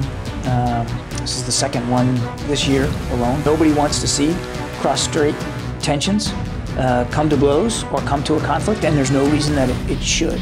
Um, and so nothing's changed about our policies. 美国多次重申，如果中国威胁台湾安全，不会漠视不管。更在拜习会登场前，台湾官员本周先召开全球合作暨训练架构。也有消息指出，十二月民主峰会可能邀请台湾出席，再加上美方议员访台，进入国防部听取台海情势简报，都被解读巩固台美关系。美国近期在这个。呃，这个结合这个盟邦哈，这个联手制中的一个这个策略，这个先从这个周边的一些这个小型的活动着手啊，这个逐渐的强化这个台湾跟这个这个周边国家或是一些国际活动相关的关系。那这个就是接下来就可能看呃军事的这个联合演习，明确的警告这个中国大陆不要企图改变这个台海的形势。美国结合盟邦为台湾发声，挂波警警告中国不得破坏台海稳定。这个消息来的蛮突然的哈，这个率先报道是 Political 政治新闻网站，啊，说美国总统拜登哈跟习近平呢第一次的线上峰会十五号晚上举行，双方哈两强国的领袖是借由向美中关系全国委员会成立五十五周年晚会来拍发贺电，表达彼此为这场峰会确立正面基调的意图。呃，这个新闻报道当中说了哈，线上峰会。是重启双边关系的契机，预料在台湾、新疆、香港等热点议题上不会取得重大突破。国成老师，你的观察？现在啊，这个美中呢最近刚通过一个格拉斯哥共同宣言嘛，啊，所以呢，现在气候减排这个是他们现在最有共识的地方啊。中国也在讲减排啊，美国也在讲减排，所以这一块我想最有可能是先铺成这个会谈。哦，彼此表示说双方彼此有共识，而且这个对世界也有利。其实呢，美国方面呢，就我的了解哈，早就已经希望哈能够跟习近平面对面进行高峰会，但是习近平二十一个月不出国啊，好，这个 G G G 二十他也不去，好，其他联合国他也不去，好，所以很多地方他都不去，所以哦，美国这边叫做云外交，丹某狼，好，所以现在来讲这个 视讯峰会呢，这个是美国是无可奈何了。不过呢。好，现在判断就是说，这个首先呢，他们谈的哈，一定是目前这些已经暂时会有共识的议题，气候减排。但是呢，其他重要的议题，老实说，台湾问题、新疆问题哈，现在大概很难达成协议了。因为呢，最近呢，美国议员来，哦，中国才那边跳脚，才在那边骂。哦，难道习近平有可能说针对这个事情突然说啊，这个对拜登放软？不会，拜登也不会说我国会议员去，我对你说对不起哦，我这个我国会议员不该去，他回去没办法面对国会嘛，嗯，啊，因为那国会议员是共和党的，所以换句话说呢，因为美国国会议员刚来，美国也要护他们的国会，而且国会本来就比总统还大。好，那中国呢？刚刚讲了这么硬的话，所以台海议题、新疆议题，好这些议题呢，可能这个会哦谈不了几句，尤其就是视讯的，视讯呢到时候透过说啊，这个传输问题、翻译问题不像面对面，所以应该是就已经有共识的，好事务性的议题哈，好先给他谈一下。但是事务性的，其实双方应该本来就在私底下磋商了，对，是不是大概有个方向，让两个强国的领袖坐下来做一些拍拍板定案的事？我想拍板定案哈，在视讯的会议，因为不没有办法说会有签署文件，嗯，好，还是这方面的这种举动是不太可能了。所以，好说能达成什么非常具体的协议哈，啊，这个在外交上来讲很困难，很困难，一定是面对面的啊，才能有办法有签署协议的这些举动，让啊媒体来拍照。面这种视讯峰会，其实就跟以前美苏热线会谈哦，哦用电话。哦，这种概念差不多，只是那时候技术没那么进步，看不到脸。啊，这个就是表示有沟通，嗯，啊，有在交流，好，避免误判。但是呢，达成什么协议，达成什么很困难，很困难。好，广告中我们有更多的讨论哦，马上回来。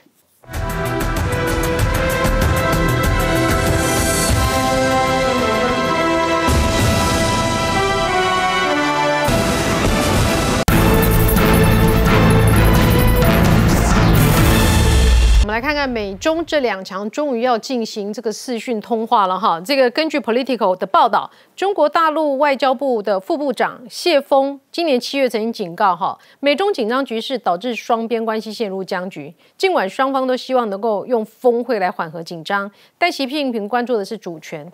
拜登关注的是基于规则的国际秩序。那么这么棘手的立场起义，哈，代表双方不会在台湾、香港、新疆问题上让步，顶多重申标准的谈话要点。所以呢，对台湾应该是影响有限。但是呢，这个我国的外交部北美司副司长陈慧珍也有回应哈，他说会密切关注，也会持续跟美方来紧密协调，确保美国对台政策不变，以及台美各领域合作持续稳定深化。哎，创香你怎么观察？其实基本上呢，当然拜登和习近平一直想要建行一个正式的一个会谈，嗯，但是因为习近平呢，根据他们最近所出来的伟大的习近平的历史决议。它叫做创新的国际外交的新模式，叫做云端外交。所以习近平就是不出来，不敢出来，已经为他不出国创立新名词就对了。云外交是多伟大的一个新名词。但是这个云外交里面，现在呢，因为全世界也是觉得这两强，你当然是有斗，但是不要破，所以要沟通也是全世界的期待。所以他们还是要见个面。那见个面，但是你会看到说，整个美国呢，其实也很关注。过去的时候，他们是哪有这么关注台湾的感受？所以最近的一些动作，你会看到是，其实拜登这种老外交，在我我跟你要谈了，但是呢，哎，一些话题这个东西不适合在网络上谈，嗯，所以呢，就谈的是一些比较事务性的事情。台湾不会去出卖，所以台湾不用不用担心。但是台湾不用担心，这样不够啊。所以布林肯会出来讲说，如果中共犯台，他是接受《纽约时报》公开讲，中共犯台。美国和盟国一定有所行动。嗯，同时亚太驻星肯达又在日本，因为是对我们来讲最关心的是日本。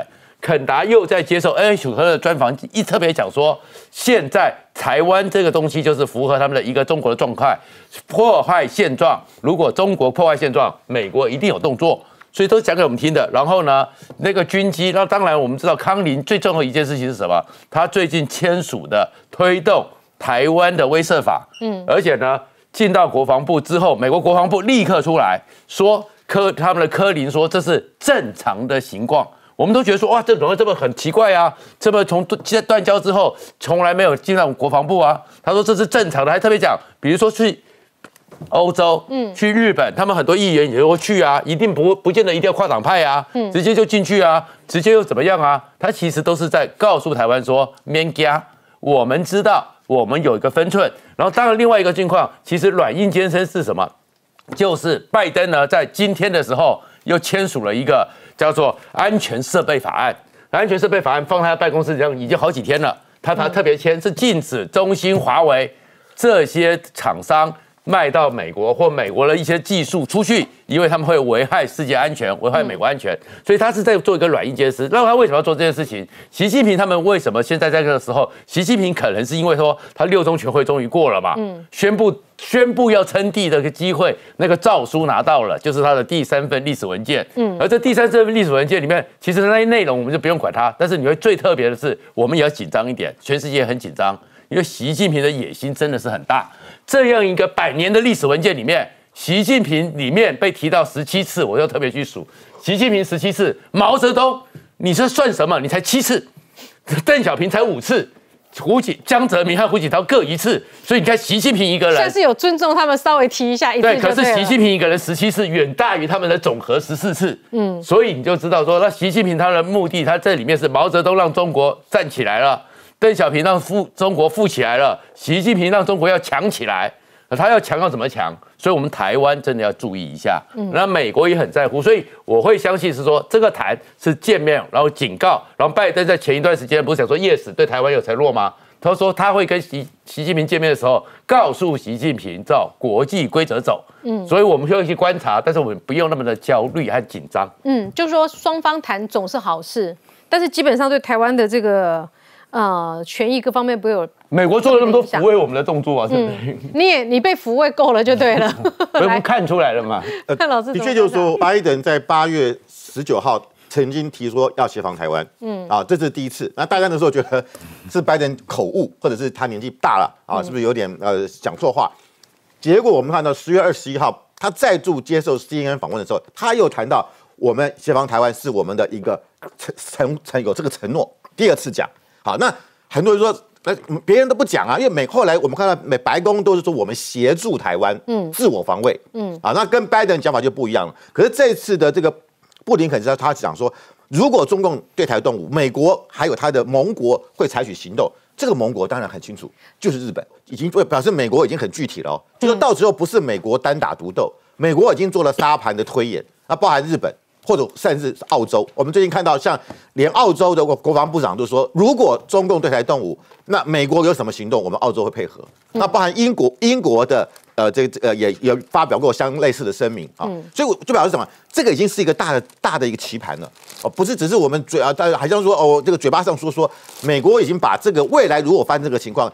各国之间如何合作来保卫台湾，已经放在了一个他们在沙盘推演或他们在想在在在这个兵棋推演的一个想定里面了。所以其实还蛮明显的情况之下，为什么国民党的老师会觉得说美中只要和好，台湾就被丢到一边？这就这就是国民党。国民党为什么老是这个逻辑？他如果不这样讲，他自毁他长城啊，他自毁他的立场啊，就他一定要这样讲啊。美国不会来啊，马英九也这么讲啊，舒淇这么讲啊，啊，台湾人不要太天真啊。但是美国现在不但说我要来，而且是。不是单打独斗的，是要拉帮结派一起来，嗯，就变成说台湾问题已经是一个什么国际化的问题。那在这个情况之下，当台湾问题是国际化，中国想要用一个内战的方式来解决台湾问题，好，或者说我我要打台湾，你们大家不可以这呃这个出手，就没有正当性。所以我觉得这个这个这个啊布林肯的讲话凸显的嘛，当中国他在台湾的问题上，他越明确。他越越越积极啊，越越派飞机来到台，那也被迫美国也要更清楚，所以美国也不断的在越来越清晰化。那这个东西对我们台湾来讲，当然我我们民众就会比较有信心。所以，我我觉得不只是说在这个呃外交上，那你看最近美国对于我们包含我们的后备部队的这个重新恢复啊，强加强教育呃教教招的时间，这也是美方他希望我们要你要有你要人助天助，要必须自助。所以我觉得这方面也在改变我们整个国防战略的做法。嗯，啊，所以除了外交层次，当然还有就是军事实际上的层次。好，就是说观众朋友，如果你有看对岸的一些网站的话，这个对岸一直觉得要打台湾了，哦，有这样的一个氛围。但是不论如何打，你谈加哈，这个布林肯其实在美中线上高峰会的前夕讲这段话是很清楚：中国如果出手了，真的打台湾了。美国跟盟国会采取行动，美国还是保持它这个模糊的一个状态哈，他没有说什么行动，也没有说美国会不会出兵，但是他说美国跟盟国最近的就是日本嘛，好，日本嘛会采取行动，老师怎么看待？第一个啊，中国打台湾哦，美国跟盟国会采取行动，这代表什么？一个隐形的保台的这种联盟哈，他已经讲好了。因为他这样讲盟国，那盟国啊也一定会质问。如果没有先讲好，盟国会质问说你这样把我拉进来是什么意思？除非他自认为我不是美国的盟国，但是他不会。所以第一个代表他讲这个话，一定是跟周边的国家，其实不止日本啊、澳洲啊，甚至东南亚很多国家，应该都已经得到美国的讯息。好，至少。已经做到说不会有哪一个国家直接跳出来啊，跟美国呛说啊，对不起，我不会介入，那就难看了。所以这代表美国的外交工作，其实在这段时间已经铺陈到，就是啊，周边国家呢对美国这个说法哈，啊就已经第一个得到了共识，第二个不要让战争发生啊，这个啊在这个军事上来讲，这个尽量的就是啊不会站在中国那边支持美国对台湾的保卫的行动。那他说这个行动到底是什么？他没有说得很清楚，为什么？因为中国如果打台湾哦，其实需要做的包括军事的协防、外交的这种声援，好经济的可能制裁，好很多很多的方面，好不是只有一种，也要看中国出什么招，然后美国跟其他国家再出什么招。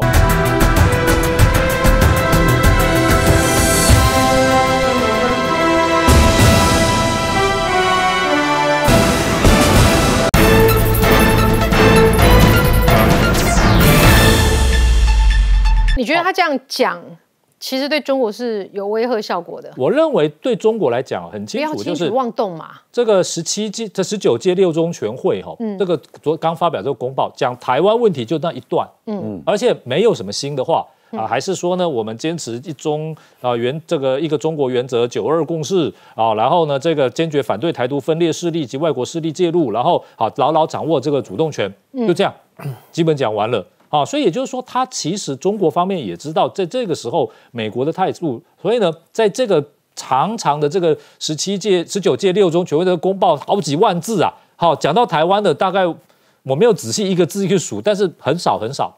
意思只有四句，对，只有四句。本来坚持一个中国原则和九二共识，坚决反对台独分裂行径，坚决反对外部势力干涉，牢牢把握两岸关系主权和主动权、主导权和主动权。对，本来很多人认为说，会会不会呢？有很多激烈的言这个新的政策好，是比如说呢，好这个什么加强落实反分裂法啦，好，还有就是说统一不能无限期的等下去，意思就是暗示有时间表啦。好，然后要不然就是说对于这些啊这些台独分子要积极于打击，照理说以他的身份地位要加这几句，谁会阻止？谁敢阻止？随便他高兴怎么加怎么加。但是呢，没有特别加，代表什么？国际压力哦，还是对中国有一定的作用。有一个人的这个地方反应不讲太，我帮你有一个人反应就看出来，其实中国是有感受到美国的决心。嗯那个人就是我们最喜欢欢迎他讲话的胡锡进。嗯胡锡进在那个整个克拉克的那个行政专机从菲律宾马来呃克拉克空军基地飞过来的时候，他特别开了应答器，然后全世界都看他的状况。就胡锡进讲说，这个叫做军机，叫做擦边球。然后后面说，但是我们不用担心，绝对不会踩到我们的红线，绝对不会踩到我们的红线，他的红线就退出去了。